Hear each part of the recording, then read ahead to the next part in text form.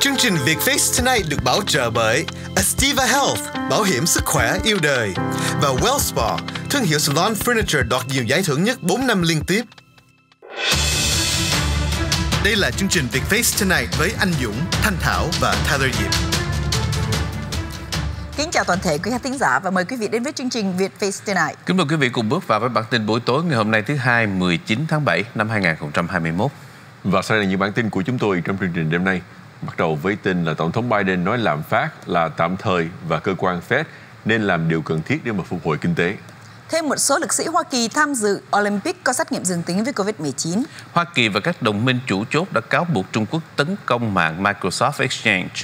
YouTube thêm nhãn hiệu cho một số video sức khỏe trong bối cảnh thông tin sai lệch. Các tuyên bố nguy hiểm mới nhất từ cựu Tổng thống Trump về vaccine COVID-19. Tổng thống Biden gọi quốc vương Jordan là đồng minh trung thành. Giá dầu giảm 5 Mỹ Kim cho một thùng sau thỏa thuận OPEC để mà thúc đẩy nguồn cung. Hỏa hoạn gia tăng tại Oregon và California trong khi nắng nóng vẫn tiếp tục. Trong khi đó thì Canada đã mở cửa biên giới cho những người Mỹ đã được chích ngừa vào ngày 9 tháng 8. Là tất cả những bản tin chúng tôi sẽ gửi đến quý vị trong phần tin tối nay. Và ngay bây giờ bản tin sẽ được mở đầu với Thanh Thảo. Thưa quý vị, bản tin đầu tiên trong chương trình hôm nay liên quan đến việc là ngày hôm nay Tổng thống Biden nói rằng lạm phát là tạm thời và Cục Dự trữ Liên bang tức là Fed nên làm điều cần thiết để phục hồi nền kinh tế. Tổng thống Biden ngày thứ hai đã cho biết việc giá cả gia tăng theo dự kiến chỉ là tạm thời, nhưng chính quyền của ông hiểu rằng lạm phát không được kiểm soát trong dài hạn sẽ đặt ra thách thức thực sự đối với nền kinh tế và chính phủ của ông sẽ vẫn đề cao cảnh giác. Tổng thống Biden cho biết ông đã nói với cục uh, chủ tịch của cục dự trữ liên bang là ông John Powell gần đây rằng ngân hàng trung ương độc lập và nên thực hiện bất cứ hành động nào mà họ cho là cần thiết để hỗ trợ sự phục hồi kinh tế mạnh mẽ và lâu dài. Tổng thống Biden cho biết chính quyền của ông đang làm tất cả những gì trong khả năng để giải quyết các nút thắt trong chuỗi cung ứng đã đẩy giá xe hơi lên cao và lưu ý rằng giá gỗ hiện nay đang giảm xuống sau khi đã tăng vọt vào đầu thời kỳ phục hồi kinh tế. Một cuộc khảo sát cho thấy hôm thứ Sáu, sau khi giá tiêu dùng tăng tới 0.9% trong tháng 6, là mức tăng lớn nhất trong 13 năm, các nhà kinh tế vẫn tiếp tục tin rằng lạm phát cao hơn là điều kiện nhất thời. Tổng thống thuộc đảng Dân Chủ cho biết rằng kế hoạch đầu tư nhiều hơn vào cơ sở hạ tầng cũng như chăm sóc người già và trẻ em tốt hơn sẽ giúp giảm áp lực lạm phát trong tương lai bằng cách thúc đẩy năng suất. Ông phát biểu nguyên văn, những bước này sẽ nâng cao năng suất của Hoa Kỳ, tăng lương mà không tăng giá. Điều này sẽ giúp giảm bớt áp lực lạm phát, tạo động lực cho lực lượng lao động của Hoa Kỳ và dẫn đến giá cả giảm trong những năm tới. Ông cũng nói tuy các nhà phê bình đã chỉ trích các chính sách kinh tế của ông sẽ dẫn đến sự kết thúc của chủ nghĩa tư bản, nhưng các kinh tế gia hiện nay lại dự đoán Hoa Kỳ sẽ đạt tốc độ tăng trưởng kinh tế cao nhất trong 40 năm. Và ông kết luận, hóa ra chủ nghĩa tư bản vẫn còn tồn tại và rất tốt. Chúng ta đang đạt được những tiến bộ nghiêm túc để bảo đảm rằng nó hoạt động theo cách được lập ra vì lợi ích của người dân Mỹ. Trong bối cảnh ngày khai mạc của dạ của chương trình Olympic Thế vận hội tại Tokyo sẽ được diễn ra vào ngày 23 tháng 7 tới đây. Hôm nay đó là ngày 19 thưa quý vị. Thì trong bản tin buổi sáng chúng tôi đã gửi đến quý vị một nữ ờ, lực sĩ thuộc đội tennis của Hoa Kỳ, Coco Gauff đã tuyên bố là bị dương tính với Covid-19 và không thể tham dự giải đấu của mình ở tại chương trình Olympic này. À, ngay sau đó thì um, các đài truyền thông cũng đã nhận được tin báo rằng một thành viên dự khuyết 18 tuổi của đội thể dục dụng cụ Hoa Kỳ đã đến Nhật Bản để chuẩn bị tham dự Thế vận hội bắt đầu vào thứ Sáu tuần này.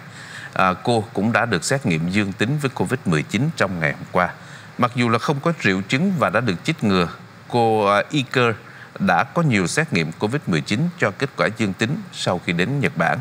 Cha của cô là ông Mark Iker đã cho ban tổ chức cũng như là báo chí biết về tin tức này. À, người bố đã phát biểu như sau: Tôi biết rằng cô bé sẽ rất thất vọng nhưng trong thời điểm này cô bé đã không ờ, nói rằng rất ổn, khá buồn chán. Tuy nhiên cô phải mắc kẹt ở trong phòng và không thể làm được bất cứ điều gì và không thể tập luyện hoặc làm bất cứ điều gì. Trong khi đó thì vận động viên thể dục thay thế cho Kara là Katie Lou Samuelson à, cũng sẽ có thể bị dương tính. À, ngoài ra thì một người một vận động viên khác thưa quý vị à, là một người à, đã tham dự vào trong một nhóm à, đội bóng rổ với đội hình 33 cũng đã được xét nghiệm dương tính và kể như là cũng cũng sẽ không tham dự vào trong uh, giải đấu năm nay đó là KD Lou Samuelson à, đã được thông báo là cũng sẽ có dương tính với Covid-19 và sẽ không tham dự tính cho đến giờ phút này thì chính thức đã đội tuyển Hoa Kỳ đã có ba à, nữ um, lực sĩ đã được tuyên bố là Covid-19 là cô cô Goff, um, cô Iker và đồng thời uh, Mark Samuelson. Ngoài ra thì Jack Lavin đã tham gia các giao thức về sức khỏe và an toàn cũng đã được thông báo cô Katie Liu uh, chúng tôi xin lỗi. Cô Zach Lavin đã tham gia vào cái chương trình này cũng có thể sẽ phải ngưng thi đấu vì Covid-19 hiện nay thì tất cả những cái tin tức này à, người ta đã loan truyền ở trên các cái đại truyền thông lớn. Và ngoài ra một nữ vận động viên Hoa Kỳ à, cũng nằm trong đội dự bị của à, thể dục dụng cụ cũng đã có xét nghiệm dương tính. Tuy nhiên hiện nay thì ban tổ chức và à, báo chí chưa tiết lộ danh tính của cô này. Và chỉ nói rằng cô à, cũng đã có những cái quan hệ gần gũi với một vận động viên khác một lực sĩ khác đã có dương tính với Covid-19 trong ngày hôm nay thưa quý vị thì Hoa Kỳ, Liên minh Bắc Đại Tây Dương cũng như là các quốc gia đồng minh khác của Mỹ đã đồng loạt lên tiếng phản đối Trung Quốc vì những hành động từ quốc gia này liên quan đến vấn đề tấn công tin tặc nhắm vào các công ty tư nhân ở phương Tây, à, đặc biệt là một cuộc tấn công vào tháng 3 vừa qua nhắm vào hệ thống Internet của công ty Microsoft. À, tại sao cái chuyện này nó quan trọng thưa quý vị là tại vì đây là lần đầu tiên à, kể từ khi mà được thành lập vào năm 1949 uh, tổ chức uh, NATO hay là uh, hay là nhóm tổ chức uh, quân sự Bắc Đại Tây Dương đã lên tiếng uh, phản đối uh, một hành động liên quan đến vấn đề tin tặc uh, mà nhất là nhắm vào phía uh, Trung Quốc. Và hiện nay thì chính quyền Hoa Kỳ uh, cũng đã đưa ra nhiều uh, chi tiết cũng như thông tin liên quan đến 50 cách khác nhau mà các hacker của Trung Quốc đã sử dụng trong quá khứ để mà tống tiền các công ty uh, Mỹ. Và cũng trong ngày hôm nay thưa quý vị uh, thì Bộ Tư pháp của Hoa Kỳ đã chính thức truy tố ít nhất là bốn hacker có liên quan đến một chiến dịch nhiều năm nhắm đến các chính phủ nước ngoài và cũng như là các tổ chức trong những ngành nghề thiết yếu bao gồm uh, uh, giáo dục, quốc phòng, y tế uh, và cũng như là ngành hàng không uh, và ngành hàng hải ở một chục các quốc gia à, cụ thể à, trong à, những tổ chức mà trong ngày hôm nay đứng lên phản đối à, Trung Quốc bao gồm Mỹ, NATO, à, Liên hiệp Âu Châu, nước Anh, Úc, Canada, New Zealand và cũng như là Nhật Bản. Bản tin kế tiếp liên quan đến tình hình dịch bệnh COVID-19 do biến thể Delta gây ra đã khiến cho một số các công ty truyền thông xã hội phải thay đổi những cái chính sách của mình. Chẳng hạn như là YouTube đã cho biết là thêm nhãn hiệu cho một số video sức khỏe trong bối cảnh thông tin sai lệch về COVID-19. Vào ngày thứ hai thì YouTube cho biết họ sẽ quảng bá các tài nguyên sức khỏe đáng tin cậy hơn và thêm nhãn vào một số video để hướng người xem ra khỏi những thông tin sai lệch vốn đã phổ biến trên dịch vụ này trong hơn một năm qua. Hành động này diễn ra khi công ty phải đối mặt với các câu hỏi về việc lưu trữ thông tin sai lệch về COVID-19 và thuốc chích ngừa khi mà số người bệnh và tử vong bắt đầu tăng cao trở lại.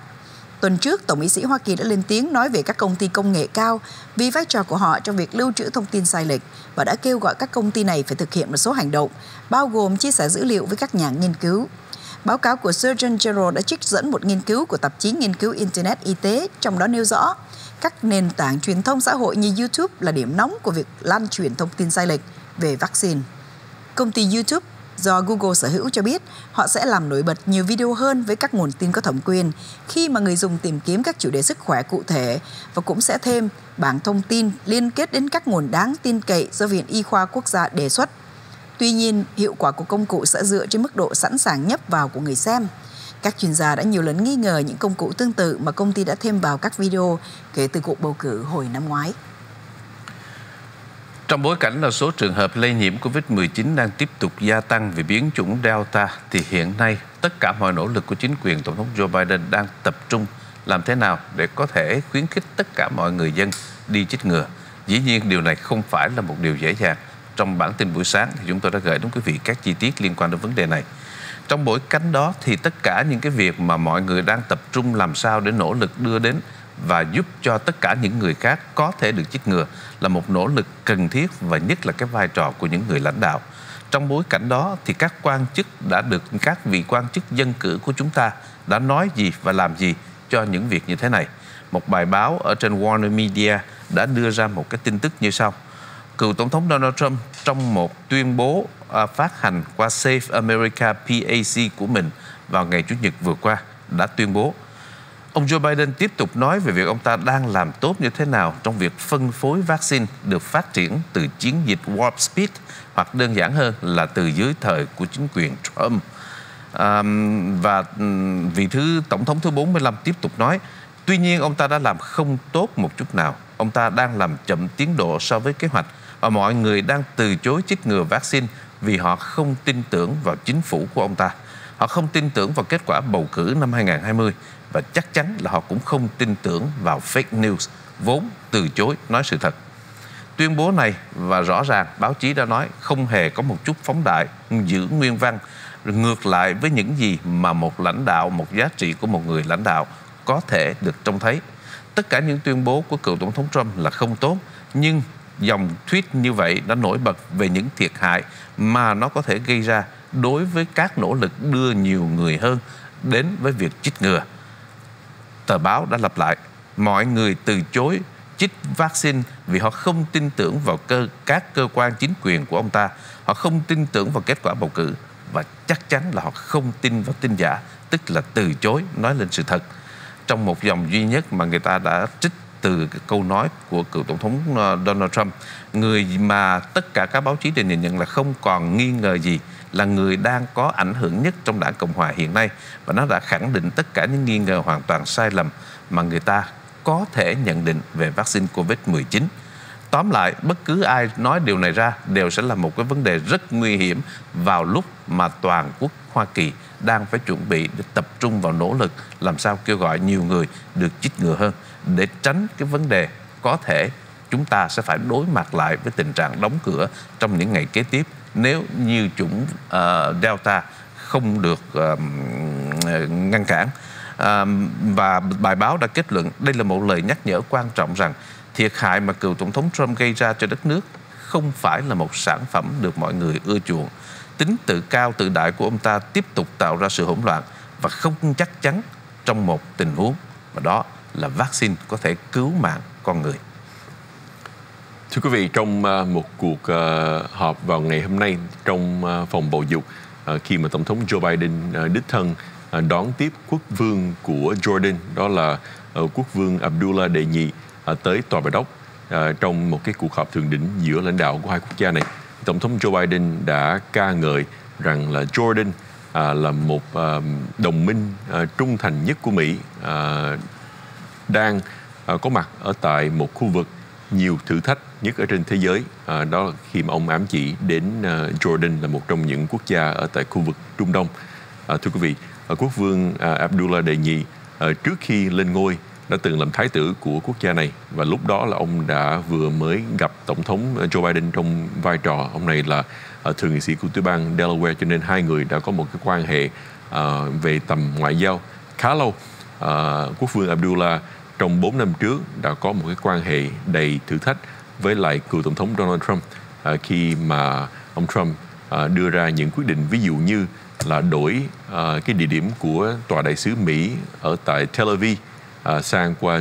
Jerusalem một nơi mà không những là người Do Thái mà cũng như là người Palestine đều tuyên bố rằng là đây là một thánh địa của uh, tôn giáo hay là cộng đồng của họ. Và ngoài việc này thì Jordan cũng đã uh, phê phán uh, các hiệp định Abraham Accord mà chính quyền của ông Trump đã đạt được với những nước như là Bahrain, United Arab Emirates và Sudan cũng như là Morocco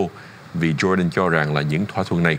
uh, tuy là có lợi cho Mỹ và Israel nhưng đã bỏ quên những người Palestine mà hiện nay vẫn còn đang uh, cố gắng tìm kiếm một đất nước riêng của họ để cho họ tự trị.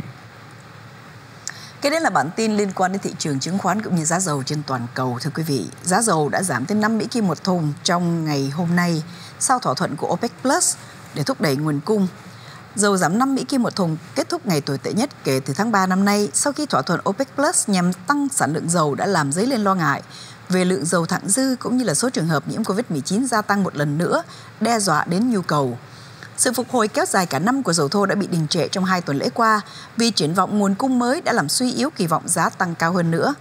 Với biến thể Delta của coronavirus lan rộng trên toàn thế giới, dẫn đến việc gia tăng 70% các trường hợp nhiễm trùng ở Hoa Kỳ hồi tuần trước. Giá dầu và các tài sản khác trên thị trường chứng khoán Hoa Kỳ, bao gồm cả cổ phiếu, trái phiếu và đồng đô la đều đã mất giá vào ngày thứ Hai. Hiện nay vẫn chưa rõ biến thể Delta sẽ ảnh hưởng đến nhu cầu ra sao. Mức tiêu thụ ở Hoa Kỳ là quốc gia tiêu thụ nhiên liệu lớn nhất thế giới đã tăng đều đặn trong những tuần lễ gần đây. Tuy nhiên, Ấn Độ là nhà nhập cảng lớn thứ ba đã cắt giảm nhập cảng dầu vì vượt uh, cung vượt mức cầu và lo ngại nhu cầu giảm liên quan đến Covid-19. Dầu thô Brent đóng cửa ở mức là 68.62 Mỹ Kim một thùng, mất đi 4.97 Mỹ Kim một thùng, tương đương với 6.8%. Tổ chức các nước xuất cảng dầu mỏ và các đồng minh của họ được gọi là OPEC Plus đã đạt một thỏa hiệp hôm Chủ nhật để tăng nguồn cung dầu từ tháng 8 năm nay nhằm hạ giảm bớt giá của dầu và vốn đã đạt mức cao nhất trong tháng này trong hơn 2 năm qua. Về thị trường chứng khoán Mỹ thì các chỉ số chính đã giảm mạnh hôm thứ Hai bởi vì lo ngại số trường hợp bệnh Covid gia tăng trở lại sẽ làm chậm đi quá trình tăng trưởng kinh tế toàn cầu. Số người bán tăng lên khi phiên giao dịch tiếp tục và chỉ số bình, trung bình công nghiệp Dow Jones đã có ngày tồi tệ nhất kể từ tháng 10 của năm ngoái. Năng lượng, tài chính và công nghiệp là những ngành hoạt động kém nhất. Và thưa quý vị, lãi suất công cổ phiếu kỳ hạn 10 năm cũng giảm xuống mức thấp nhất trong 5 tháng, đó là 1.17%, làm trầm trọng thêm lo ngại về nền kinh tế đang tăng trưởng chậm lại liên quan đến Covid-19. Trong tình hình nắng nóng vẫn tiếp diễn kéo dài trong những ngày vừa qua tại một số các khu vực ở miền Tây Hoa Kỳ, thì hàng chục đám cháy rừng đã bùng cháy khắp miền Tây Hoa Kỳ vào ngày thứ Hai hôm nay, khi cơ quan thời tiết quốc gia đã cảnh báo là nhiệt độ cao ở các vùng đồng bằng phía Bắc có thể phá vỡ kỷ lục vì các cái điều kiện gió khô và mạnh từ Montana đến California có thể làm phức tạp thêm các nỗ lực chữa cháy. Hiện nay thì có khoảng 20.000 lính cứu hỏa trên toàn quốc đang làm việc để có thể ngăn chặn 80 cuộc cháy rừng lớn hiện đang hoạt động và đã thiêu rụi hơn 1 triệu 100 ngàn mẫu Anh. Trung tâm Cứu hỏa Liên ngành quốc gia đã cho biết chi tiết này. Hầu hết những đám cháy đang bùng ra ở Montana, Idaho, California và Oregon. Sở Điện lực PG&E đã cho biết vào ngày Chủ nhật nói với các nhà quản lý California là một trong những dây điện cao thế của họ đã có thể là nguyên nhân chính cho việc cái đám cháy Dixie Fire ở California đã phát triển với diện tích hiện nay lên đến 30.000 mẫu Anh. Công ty này cũng cho biết trong một hồ sơ quy định rằng một nhân viên ứng phó với trường hợp mất điện đã phát hiện ra một đám cháy bên dưới một trong những cái đường dây phân phối điện của họ tại khu vực Feather River Canyon. À, ngọn lửa đã bùng phát vào tuần trước ở vùng nông thôn Buddy County đã buộc các cộng đồng phải di tản khỏi các chân đồi có rừng ở Sierra, Sierra Nevada và nó đang bốc cháy về phía đông bắc của Paradise và đã bị phá hủy vào năm 2018 bởi một ngọn lửa do một đường dây tải điện của công ty BG&E gây ra. Vào cuối tuần qua thì đám cháy Tamarack ở phía nam hồ Tahoe ở phía bắc California cũng đã phát triển nhanh chóng lên đến hơn 18.000 mẫu Anh mà chưa có biện pháp ngăn chặn. Trung tâm Nam Oregon thì đám cháy Boot Lake, đám cháy lớn nhất hiện nay đang cháy tại Hoa Kỳ đã vượt qua con số 300.000 mẫu Anh và đám cháy tuy đã được kiềm chế 25% vào thứ hai khi các quan chức đưa ra nhiều lời cảnh báo di tản hơn ở tại quận Lake, nơi mà đám cháy bootleg Lake và đám cháy gần đó tiếp tục bùng cháy. À, trong những ngày gần đây thì các nhà lãnh đạo tiểu bang California đã ban hành nhiều nhiều lệnh khẩn cấp và kích hoạt thêm các nguồn lực để có thể giúp các nỗ lực chữa cháy và giúp cho nắng nóng uh, tạo những cái điều kiện để có thể uh, cư dân uh, có thể cảm thấy dễ chịu hơn với nắng nóng khắc nghiệt hiện nay. Trong khi đó thì nhiệt độ vẫn tiếp tục tăng vọt ở trên phía bắc của dãy núi Rockies và cao nguyên High Plains vào cuối tuần này và dự kiến sẽ còn tiếp tục kéo dài trong tuần. Dịch vụ Thời tiết Quốc gia đã cho biết tin này. Thưa quý vị, trong ngày hôm nay thì chính phủ Canada tuyên bố rằng là đối với những người dân Mỹ, à, công dân hay cũng như là những người nào mà có thẻ xanh à, mà đã chích ngừa đầy đủ có quyền à, được vào Canada bắt đầu vào ngày 9 tháng 8 tới đây mà không cần phải đưa ra những lý do là cái chuyến viếng thăm đó nó thiết yếu hay là không thiết yếu. À, tuyên bố này à, được đưa ra nhằm thay đổi chính sách mà Canada đã đóng cửa biên giới với Mỹ bắt đầu vào tháng 3 của năm 2020 à, sau khi mà đại dịch Covid-19 bùng phát. À, những tiêu chuẩn căn bản để cho người lớn đi vào Canada bắt đầu từ đầu tháng 8 à, bao gồm như là phải chứng minh ngay ở tại biên giới rằng là người lớn đó đã chích ngừa đầy đủ à, với những à, liều thuốc mà đã được Bộ Y tế của tiểu bang của của Canada phê chuẩn. Đó là những thuốc chích ngừa của à, Pfizer, Moderna, AstraZeneca và cũng như là Johnson Johnson. À, những giấy tờ chứng minh chích ngừa phải được viết à, bằng tiếng Anh hoặc là tiếng Pháp à, và chỉ được vào nếu mà chích ngừa trong những loại thuốc này nếu mà chích ngừa từ những ờ, loại thuốc mà được sản xuất ở tại Trung Quốc hay là nước Anh thì coi như là không tính à, tại vì Canada không công nhận những loại ờ, thuốc chích ngừa đó đối với những người dân Mỹ nào à, mà chưa chích ngừa thì hiện nay nếu mà không có những cái lý do à, sinh hoạt thiết yếu thì vẫn chưa được vào Canada bắt đầu từ đầu tháng 8 tới đây. Thưa quý vị, bản tin vừa rồi cũng đã vừa chấm dứt cho chương trình Việt Face Tonight trong ngày hôm nay. Xin cảm ơn quý vị rất nhiều và chúng tôi xin hẹn quý vị lại vào chương trình của ngày mai. Chương trình Việt Face Tonight được bảo trợ bởi Astiva Health, bảo hiểm sức khỏe yêu đời và WellSpa, thương hiệu salon furniture đoạt nhiều giải thưởng nhất 4 năm liên tiếp. Và sắp khai trương trung tâm sinh hoạt cho người cao niên ngay tại thành phố San Diego. Trân trọng kính mời quý vị đến chung vui cùng chúng tôi trong buổi lễ khánh thành, chụp hình lưu niệm với nghệ sĩ Hồng Đào và tài tử Kiều Trinh, thưởng thức ly cà phê nóng trong khung cảnh thân mật và đầy ấm cúng. Thứ Bảy ngày 24 tháng 7, 10 giờ sáng đến 1 giờ chiều, 4655 Grosvenor Street, San Diego, Cali 92111. Xin gọi 1866 610 0655 Astiva trân trọng kính mời.